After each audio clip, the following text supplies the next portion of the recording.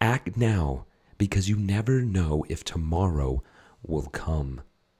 Have you heard a sentence like that before? Maybe from a hard charger pushing you to act now, buy now, like now. Wait a second. Really? Act like that? Maybe what we should do is sit. See, in the gray area is where growth happens.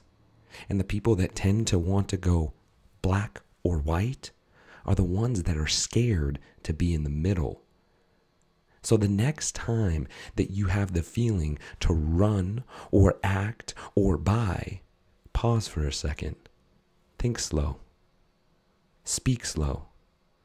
Then act fast.